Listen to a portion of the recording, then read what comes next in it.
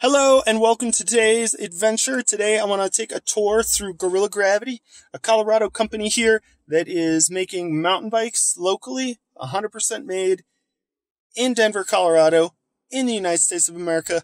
Let's go check it out.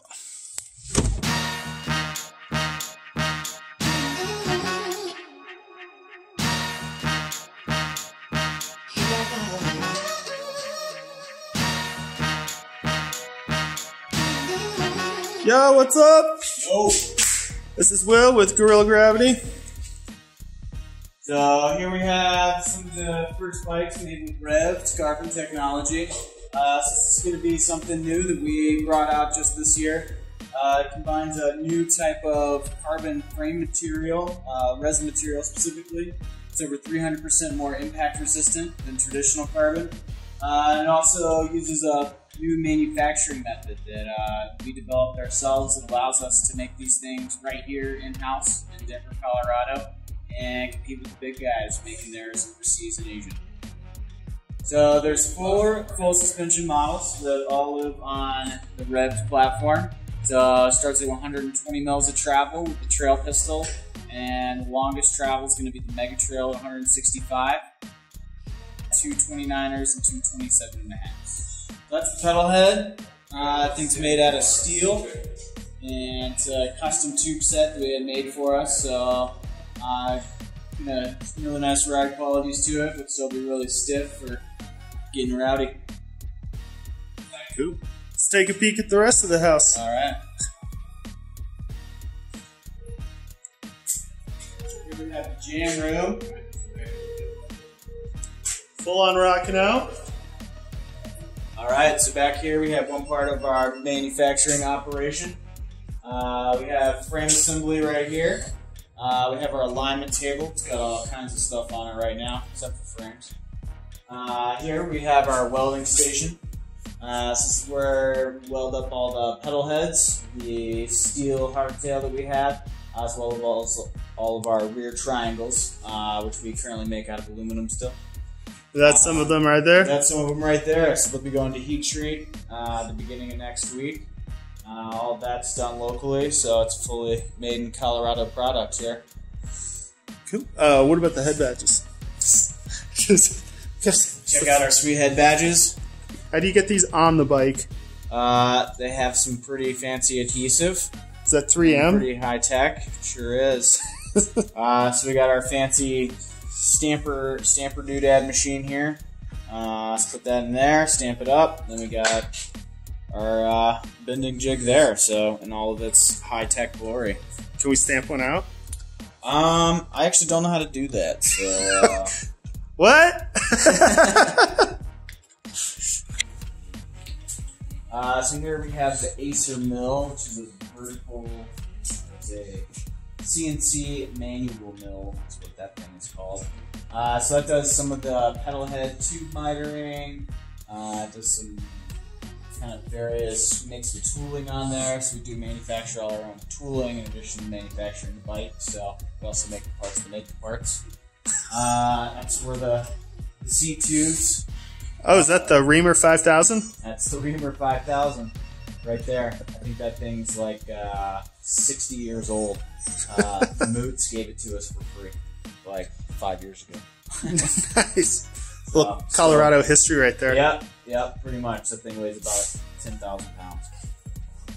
Here we got a little tabletop lathe. Uh, this is mostly made, used for uh, just making different pieces of tooling and that sort of thing. So uh, these are pretty handy anytime you need to make some turn parts or put a put a groove in something that's round. like that. Uh, we have these frames that are being sanded right here. Uh, and then these are in process. Cool. Stickered up, decaled. Yep. Yeah, so the decaling's done out here. So this is the decal station. So these are all queued up. Maybe some lucky person will see their name hanging up here. And so basically, decals go through a few different rounds of you put them on, then you cure them for a little bit, then you peel off the transfer tape, cure them again. Uh, and then they're on there. They're about the same hardness as the powder coat. Nice. So they're they're on there good. Cool. Um, yeah, just uh, just got a bunch of forks in. Pile of forks right there, guys. Pile of forks. And uh, here's our bike building station with uh, no bikes currently being built. So it's Saturday, so it's a little, little quieter on the manufacturing front. The Sabbath. But, yeah. yeah, not supposed to use machines, so. Alright, so here we have the Geo Adjust headset, which is part of the modular frame platform that we have. So it's super easy to swap these out. So that's the short setting there. You want to make your bike 10 mils longer, just flip her around. And that's it. There it goes. Uh, super quick and easy. It's a uh, it's an angular contact system, so it's toolless, uh, unlike a traditional headset, and uh, it's easy to do if you're going to like the bike park for a weekend and just kind of want the extra turbo button for the uh, length of the wheelbase. Uh, it's super easy to do. So you, you skip over the rocks easier. That's right. That's exactly how that works. Pop, skip, and a jump. Uh, then we got two different lower cups. Uh, this is gonna be the taller one for 27 and a half wheels, and this is gonna be the shorter one for 29er front ends, uh, which seem to be all the rage these days. So those pop in there. And once again, if you're swapping the top headset cup, you need to swap the bottom one too. So super easy. You don't even really have to take the fork all the way off. So pretty, uh, pretty slick. If for some strange reason somebody want to run 29 front, 27.5, is that doable? It sure is. So we actually have a uh, secret menu, ridegg.com slash 666 spelled out. And you can find the Mega Smash on there, which is going to be the 29 front end and the 27 and a half rear end. You heard it here first, actually. Wait, say, say that again? 29 back ends, 26 front, No, 29 front end, 27 and a half rear. 12 inch front end. 12 in- like Yeah. kids butt. Yep. The wall of history. That. And so that's the the first uh, GGDH. That's the first first. So that's one of the two original Alpha prototypes that we made in Matt's garage. It's a little rough around the edges, but uh, but it went. And uh, yeah, now it's uh, now it's pretty cool long ornaments.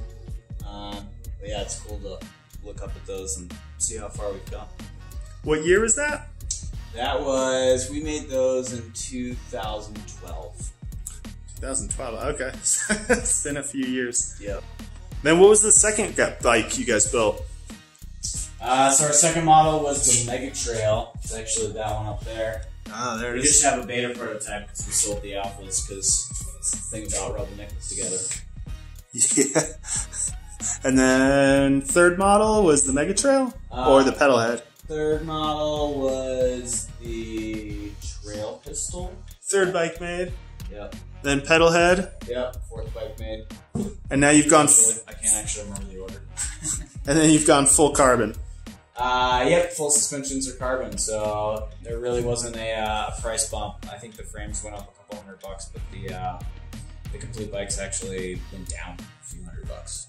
So Cool. Yeah, it's one of those things where, with the impact resistance of the carbon, and you know the fact that we can make them cost effectively right here, uh, it's pretty, pretty compelling. So, it wasn't going to be it's going to be a tough, tough sell for the aluminum for sure. And uh, when somebody goes to the website and checks it out, what's the deal with like? There's you have three levels on all your build kits. Yep. So if you go to ridegg.com, you can check out all of our bikes there. Um, when you click into what we call our builder pages, so like if you go on and click on one of the builds, we have three tiers of build. Uh, you can actually customize the build. You can pick your, you know, the fork you want, the wheel set you want. Uh, you can pick your decal colors. You can really dial it in so it's unique to you and exactly what you want right out of the box. Cool. And for anybody who wants to start a bike company, any uh, words of wisdom? Uh, well, making shit's pretty hard. So, you know, buckle in. It's gonna be a it's gonna be a wild ride for sure. Up top. Boom. Nailed it.